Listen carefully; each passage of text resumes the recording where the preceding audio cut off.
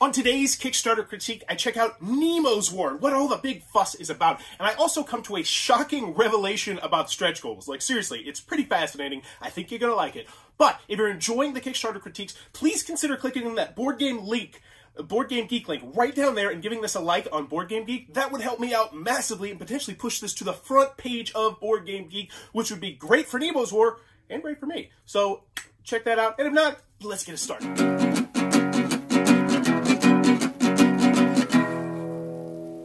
What does that even mean, Bowers game?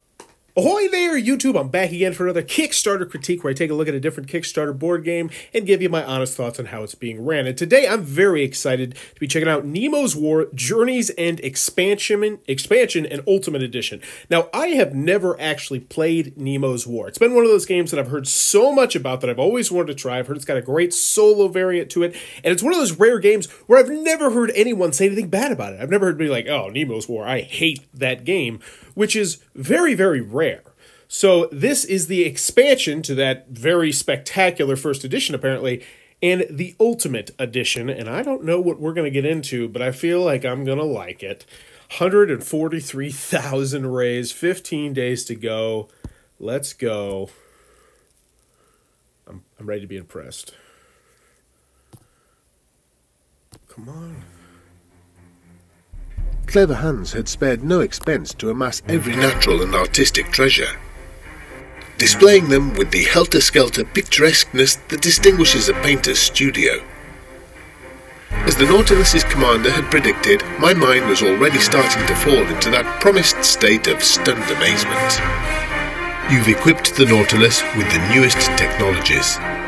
You've been an adventurer and a humanist. You've led an infamous daring crew. Now, take the helm once more to sail above and below the waves. Behold, the journey's end.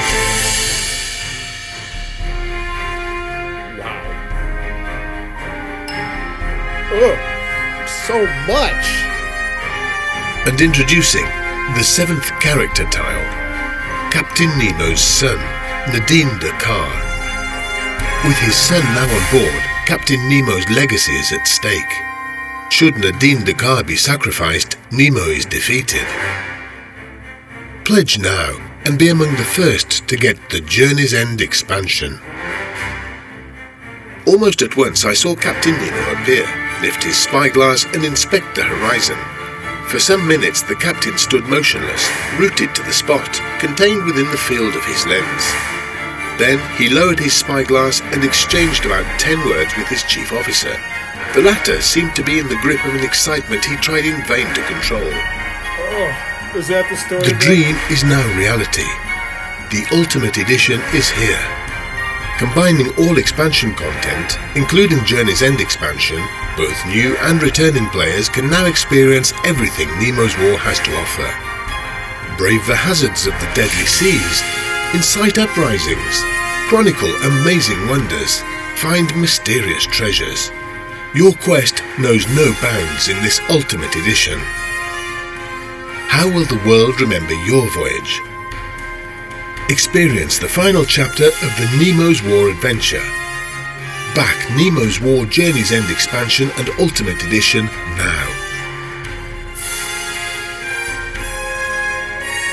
Oh my. I need a cigarette. Wow. That was that was incredible that I that was on par with a big budget movie, you know, 2 to 3 minute trailer, you know, that you would see for like an Inception or a Tenet or or one of those big summer movies.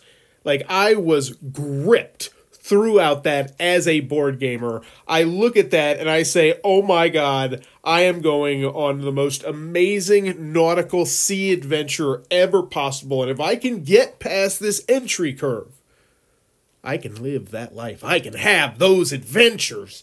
And I, am in. I want to reach out to them for a review copy. Like, this looks so cool. Uh, so let's see. And I have a feeling that they're going to crush it here. 16 created, 9 backed that that's a warm security blanket. I mean, we already. I, I feel like after watching that video, you felt comfortable, but How will the world remember your voyage? Nemo's War, the newest expansion to Nemo's War, is here featuring a comprehensive operations manual and between voyages guide. Shows how to run the ship turn by turn and includes many useful appendices. So it's like, hey, hey, hey, don't freak out. Come here.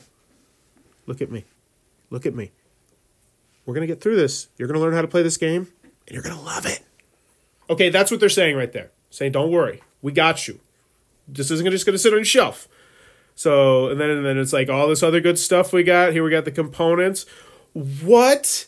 An expansion for $29? Why, that seems like a reasonable price. Uh, it's a good start. Nobody's backing that though. I bet you that is so unpopular. Well, you know what? No, I bet everybody's getting the deluxe edition. But we'll see. We'll see. We'll see in a second. All right, comprehensive operations, new characters, new Nautilus upgrades, new. I don't even know what any of this stuff means, but I have to have it. I want to have it. Oh, look at the theme. The theme is leaking out of the screen, out of the fate cards. Oh gosh, new competitive game mode, two ship moonies, wooden blocks, five bursting cards. Oh my gosh, and here we go.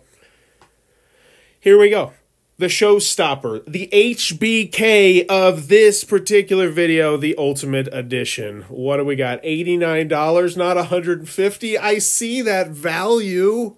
What? That's heavy value. Brave the hazards of the sea. Yeah, the theme is amazing. What's in the box? Okay, are we ready? Are we ready? This is what wowed everyone and I can't wait. Oh, there's stretch go! Oh, I'm excited. All right, 26 Nautilus upgrades. That sounds that screams variability. Seven character cards, 101 adventure cards, 12 finale cards, motive tiles, action cards, and intermission cards. New competitive game mode, wooden blocks. Five. Oh, there's so much stuff. All the stuff, the pieces, and here we go. Here we go. I see Joel Eddy right at the top. I love Joel Eddy. Like serious. There's a lot of opinions. You might have a lot, a lot of reviewers but I feel like Joel Eddy is just like everybody loves Joel Eddy. He's like Rodney almost. Rodney gets away with it real easy because he's got an amazing personality and he never trashes on any games because you know he's, he's just here to show you how to play it. Whereas reviewers, we got to say some stuff you might not want to hear sometimes. This is an amazing solitaire experience. It feels simultaneously personal, historical. There's a real sense of adventure and purpose. And if you weren't sold, now you're sold. Gameplay. See, that's a great quote right there. Gameplay. Quick here to rip, read the operations manual. Do I even want to read it? Do I want to see it? Mm, we'll see it. We'll see it. How many pages? How many pages? Ooh, okay. Table of contents. So we're getting 39 pages. Look at this. Oh, I love when they do this. They got all this, like, the stuff on the left side and then the stuff in the middle. I love this particular layout for rule booklets. When done well, I feel can really escalate the quality of a rule booklet. And this looks so stinking good. Look at that. Look at the pictures, the illustrations, the examples. I want to read this. I want to know how to play this game. And this is one of those few rule books where I would be like, I want to find 10 minutes, 20 minutes, 30 minutes to myself at a time and really bask in this rule booklet and hopefully the mechanisms which are connected to the gameplay. The theme and the mechanisms connect to the gameplay in truly great games, in my personal opinion. And so that's what I'm hoping we get from here. And wow, this is a lot, but it, looks it still doesn't look daunting because of just how much hand holding they have with the pictures and the illustrations and examples. And that rule booklet, I, I, I like that, that was, that was great. Could have read very poorly. It did not. I'm even higher sold on this. Each turn, yeah, you're telling me stuff, how to play. Don't care. I don't want. I don't want. I don't want to understand. I'm, that's all. That's future me problem. I'm not learning it now. I'll learn it then. All right, click here to read between voyages guide. What is this? Read the epilogue to your voyage in the Between the Voyages guide if you just want to immerse in a little bit of taste of the theme. I talked at the beginning of this video how this their video was kind of like that summer movie trailer to get you hyped, the longer extended cut video. That's what that is. That's exactly what they did. And now they're like the Between the Voyages guides. That's another example of them doing that. That's cool that they're doing that. We got the Game Boy Geek, Meeple University. Is this how to play? Uh, how to play, yeah, nice. I feel comfortable. Ultimate Edition, $89. Add-ons, is that really, is that how clean and clear this is going over here? Come on, let me, come on. There we go. 29 89 it doesn't get cleaner and clearer than that does it ladies and gentlemen? There's no autograph thing. There's no get your face on card x. There's no none of those shenanigans. They're down to business. We want your money. You want to give us your money. Let's make it a nice smooth process ladies and gentlemen. You want the expansion? Boom right here. You want the good stuff the upgraded stuff the new stuff? Go right here. And sure enough easy to find. Taxes don't care. I mean, look at all this extra work they're putting in. This is great. Okay. You know, I, I don't want to read any of that. Most people don't want to read any of that, but they're great. They're showing uh, we know what's going on. This is why we're charging you extra. And if you care, here here we're explaining everything. I like this. I like all this a lot. What's the shipping? Six dollars and thirteen dollars. That's not too bad. That's not too bad for I'm assuming what's going to be a relatively large larger box. Okay, very nice, very nice, looking good. Terms of service, don't care, nobody cares, nothing cares, nothing care. Don't care about your COVID. Your, when they send the email, here's our here's our stance on COVID. All right, looks good. Let's check out the comments. Wait, no stretch goals? Did I miss stretch goals? Wow, no stretch goals.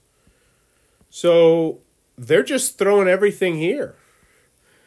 They're just throwing everything at the wall, saying this is every single last bit we have of in this game. We're not we're not playing around here. We're not saying, oh, we're going to add some cutesy little thing to it if you get 2,000 TikToks or some crap like that. This is the game, baby. This is this person's absolute dream realized into a mechanical marvel uh, a game that will be on shelves for a hundred years from now.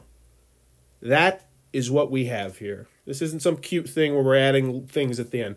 And, and, you know what? I think there's something to be said for that. So, while normally I would crush on the, hey, where's those stretch goals? I'm just like, now it's just, no. I want this. I want this.